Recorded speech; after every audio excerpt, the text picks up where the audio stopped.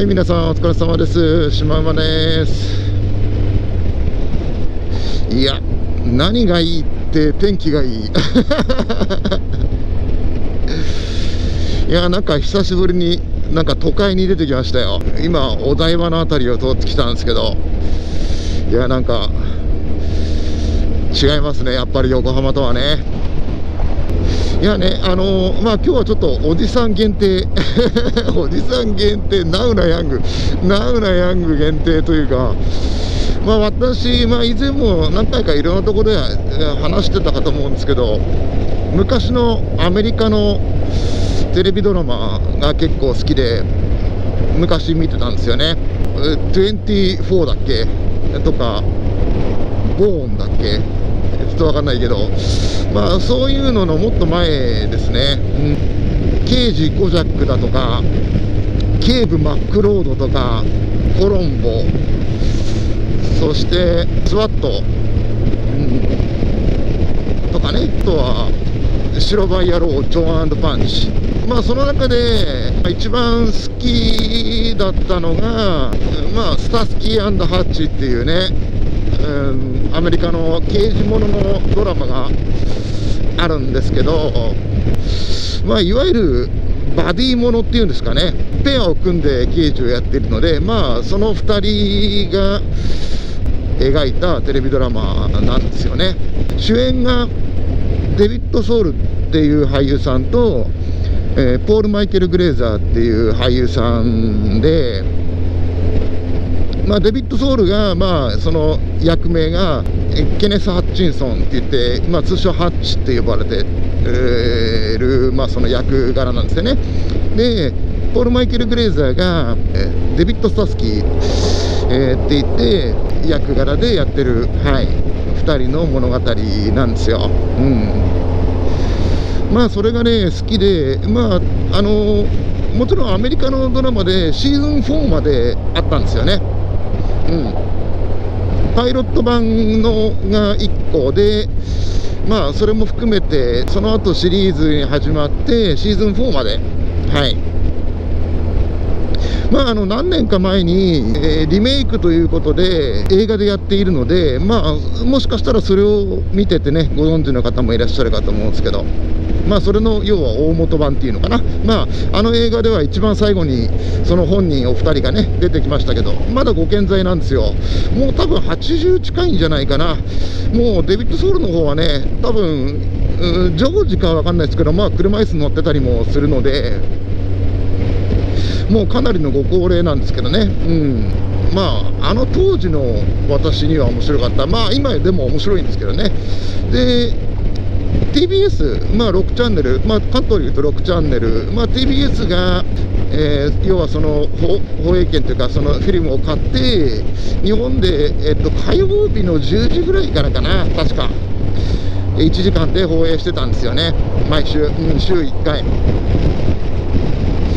で日本でテレビではシーズン4までやったと思います。ただ今 DVD で出てるのがシーズン1だけなんですよね。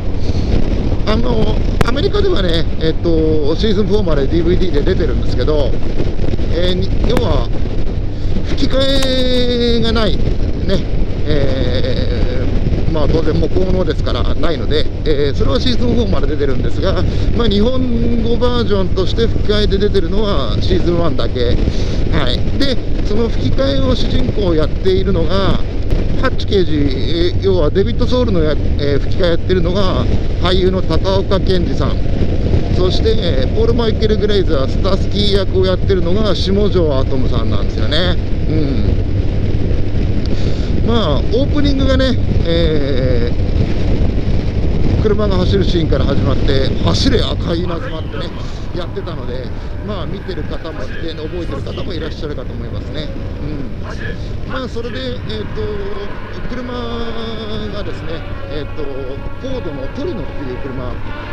まあ、これがまたかっこいいんですよ、昔のアメ車でね。はい。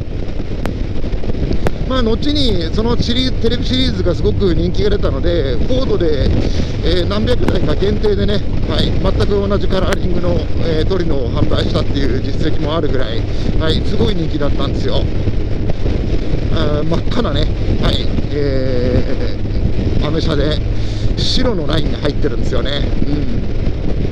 うん、またねこれがかっこいいんだわ。ね。まあそれであと脇役脇を固める俳優陣がですね、えー、まあ主役えっと2人の上司にあたる、えー、こうデブの主任さんがバーニー・ハミルトンっていうね、はい、もう亡くなっちゃって何年か前に亡くなりましたけど、はい、いう方で、まあ、パイロット版と,、えーと、ファーストシーズンの何話かはね違う人なんですよ実は。それが時々入れ替わったりしてたんですよね。うん。まあでも、えー、もうそれからは最初だけでそれからはあとはもう主任さドビー主任はバーニー・ハミルトン。そしてその2人にこういろいろと状況情報を提供する、まあ、あのチンピラみたいなのがいるんですけど、まあ、それがアントニオ・ファーガスっていういう俳優さんで革命広松。はい。ですね、はい。まあ、あの映画の中ではなんかすごくこのなんかその麻薬王みたいなあの感じだったですけど。そう。あそのえアントニオ・ファーガスさんはねまだ生きてらっしゃるはずですね。はい。そう。そんな感じのね、はい、俳優陣でやっていたドラマ。まあね、えー、まあ当時なんだろうそういう刑事もののドラマが好きだったしまあ日本でも刑事もののドラマでまあ今と違ってそういわゆるこうドンパチなんですよ。ドンパチ。まあ、コロンボとかマックロードとか、えーと、コジャックは多分ほとんど銃はマックロードは抜くかな、まあ、ほとんどコジャックなんか多分銃はほとんど抜かないと思うんですけどまあね、まあ、必ずドンパチがあるわけですよ。まあそんなことでねあのアメリカのドラマの話そしてその、えー、好きなスタースキーハッチの話ね。はい。えー、もしスター8をねご存知の方でいや私も好きでしたよとかね見てましたよっていう方がねいらっしゃいましたら、えー、コメント欄にね、えー、コメントしていただけると嬉しいです。はい、えー、今日はねそんな話でした。はい、えー、それではねまた次回の動画でお会いしましょう。ご最後までご視聴いただきありがとうございます。